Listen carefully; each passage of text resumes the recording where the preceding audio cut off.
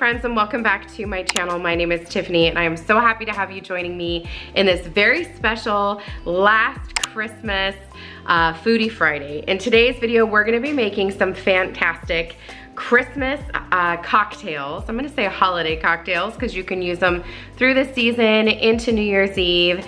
And I am so excited to show you some of these. They are my absolute faves. There are some that I enjoy Christmas morning, some I enjoy Christmas Eve, um, and some that are just good all season long. So if you are here for it and you're looking for a delicious cocktail to serve at your Christmas event, this is the video for you.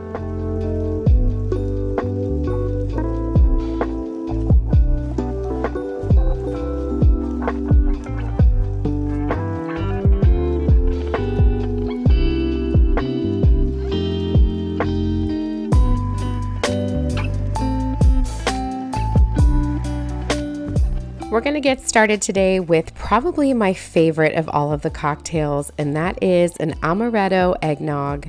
You're going to start off with a large glass, fill it with a lot of ice. You're going to add in eight ounces or one cup of eggnog eggnog of your choice. Make sure it's a good creamy one and make sure you have a lot of ice to keep it nice and chilled. Go ahead and grab your amaretto, which is an almond liqueur and you're going to add in one ounce of amaretto to the top of your eggnog.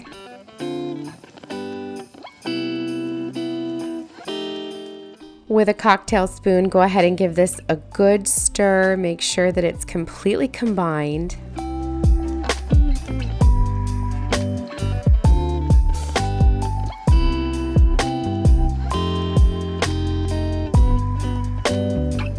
And finally, top it off with a little bit of nutmeg.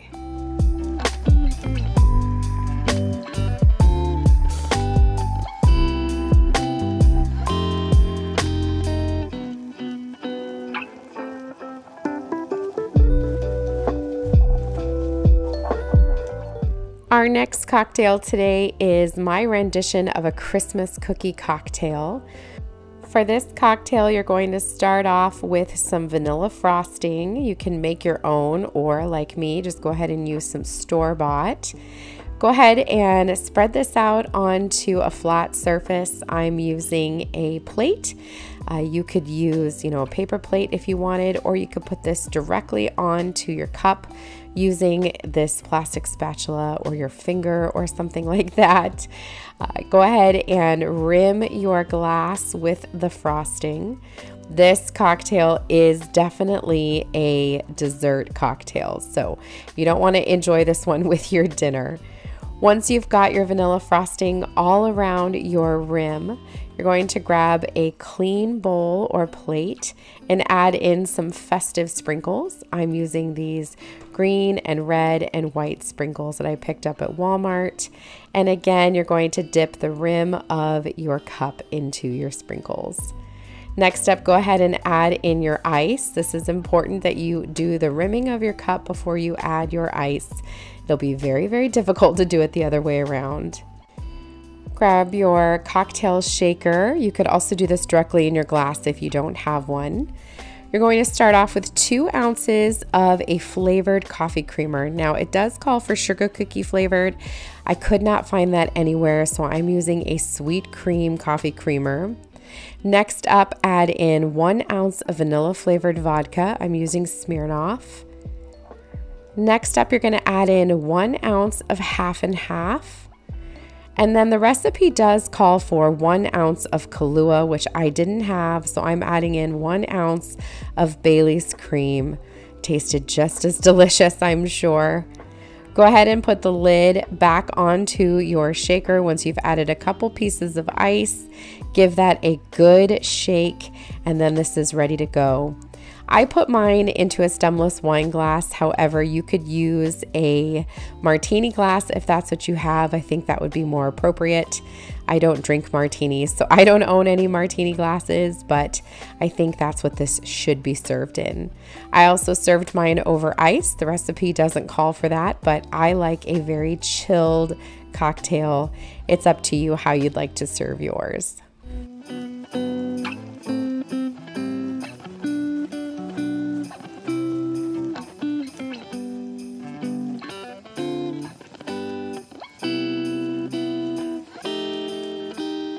Next up, we're going to make a Christmas mimosa, the easiest of all of these cocktails.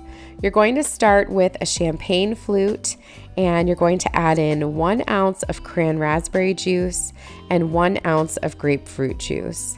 I'm using this beautiful champagne flute that actually was gifted to Danny and I. It was a pair for our wedding. We use them every year on our anniversary, and I felt like it was appropriate for this one. Go ahead and top off your juices with your favorite champagne.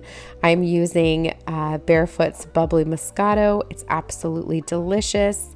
Does have a little bit of a sweeter taste, so if you don't like that, you could definitely use something more like a Prosecco.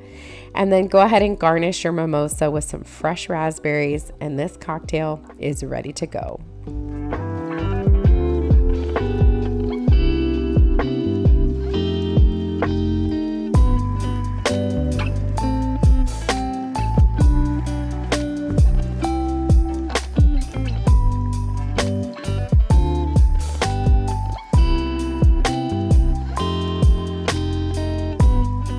Next up, we're going to do my favorite. This is a Christmas margarita or another rendition of a pomegranate margarita.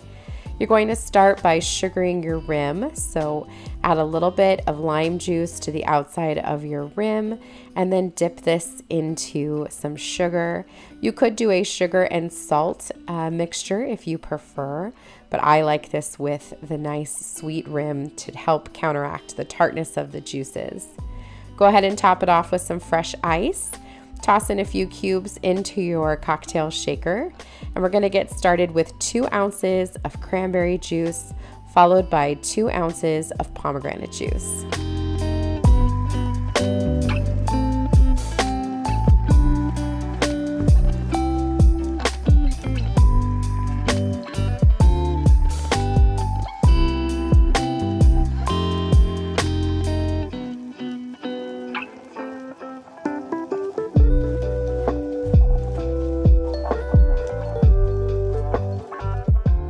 Step, add two ounces of tequila.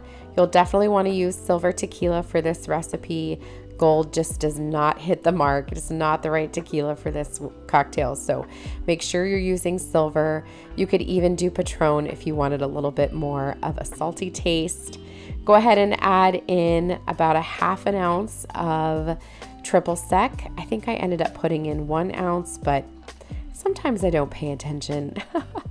And then I'm also adding in one full ounce of lime juice. The recipe typically calls for only a half an ounce, but I like my margaritas to be very limey.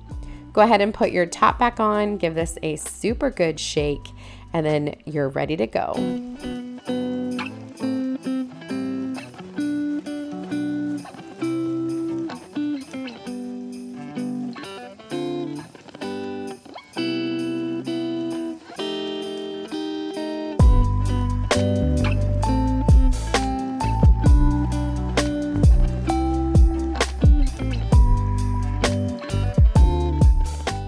Make your margarita extra festive, go ahead and garnish it with some fresh cranberries and a sprig of rosemary, and this will look absolutely beautiful on any Christmas spread.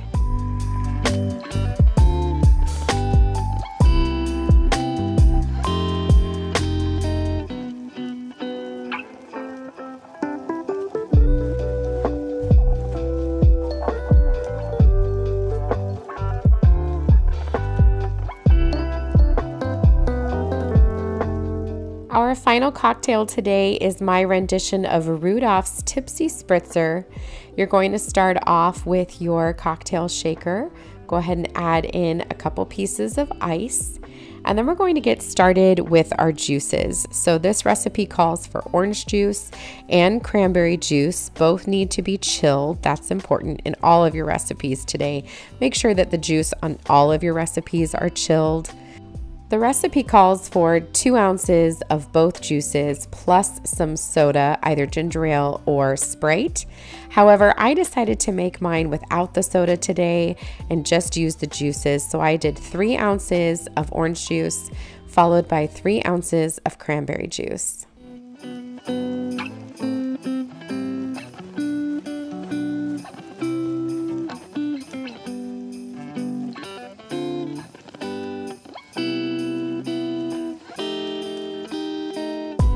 Next up, you're gonna add in one and a half ounces of your favorite vodka.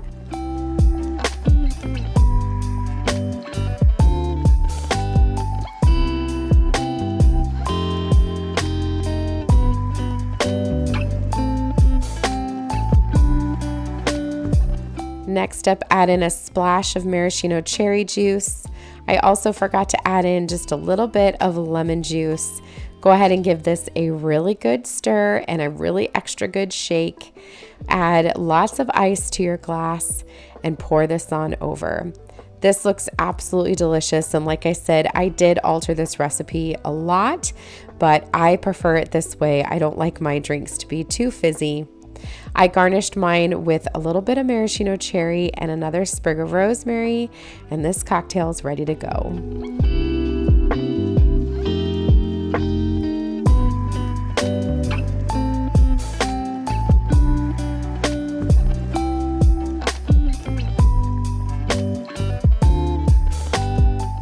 And you might call this the cherry on top. We're to call it the boozy cherry on top. For a fun little drink topper or something to just grab and go, soak some maraschino cherries in vanilla vodka. They're absolutely delicious.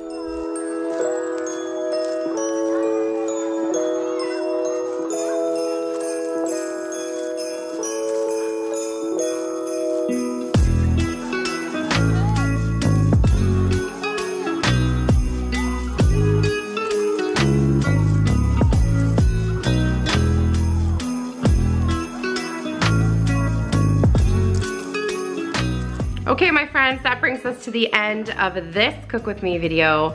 Hopefully you're not too tipsy to finish this video. If you are, you can always come back and watch again.